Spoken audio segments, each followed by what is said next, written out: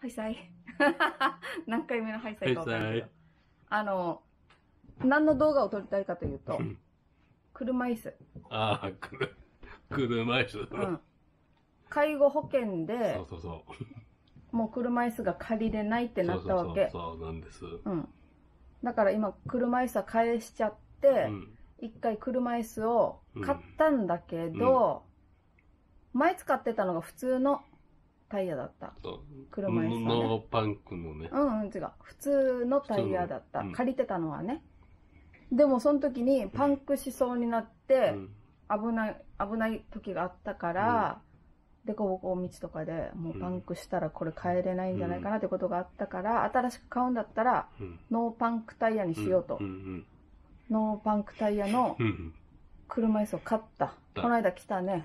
いました。うん。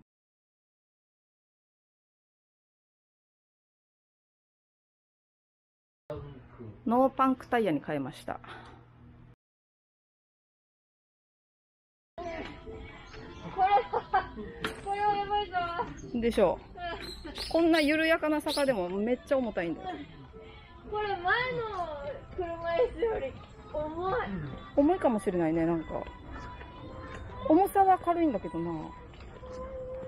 タイヤが重い。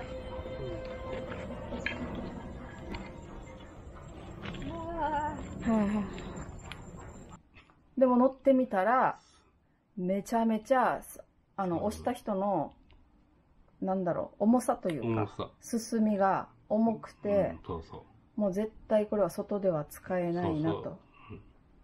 なんか綺麗なアスファルトだったら、アスファルトというか、商業施設の中とかだったらいいんだけど、もうアスファルトの上はもう特に重くて絶対進まないなうんと。うんそれでメーカーさんに、うん、話したら返品していいよって言われたから返品しました、それは。うんなんかそれもあって、ちょっと車椅子どうしようかなって考えてるわけ。うん。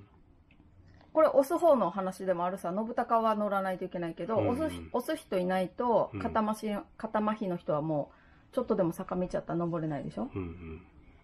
だから押す人が快適じゃないといけないからう、んで、前借りてたやつは、定価が15万円ぐらいするわけ。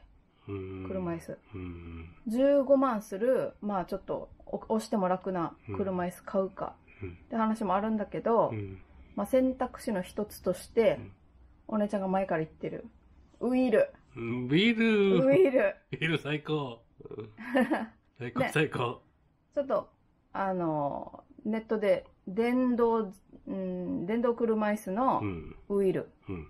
前からね、ちょっとお姉ちゃんは何回か信高にこんなのあるんだよ、いいよって言ってたけどう、んやっぱり若いこともあって、自分の足で歩いた方がリハリハビリになるなるんじゃないかっていう、うん。ね、先生なんかのアドバイスもあって、購入はもちろんしたことないけど、お姉ちゃんはもうちょっと外に出るっていう、このウィールを使っていろんなとこに行くっていうのが、うん。もっと気持ちの面でもプラスになるし、うんうんまあ出先で歩けば、うん。あの、ウィールから降りてさ、うん。全部ウィールで乗って電動車椅子で移動するんじゃなくって、うん。まあちょっとデコボコした公園とかも行って、うん。その先の、まあ平たいところでまた杖で歩けばいいし、うんうんそしたらもっといろんなところに出かけられる。うんさ、うんうん。今はちょっとでもデコボコあったら車椅子でも入れないとこいっぱいあるし、うんうん重たいし、だからそれからしたら、まあウィールを買ってもいいんじゃないかと。うんいう話になりまして、うん僕賛成僕賛成よね。問題は値段。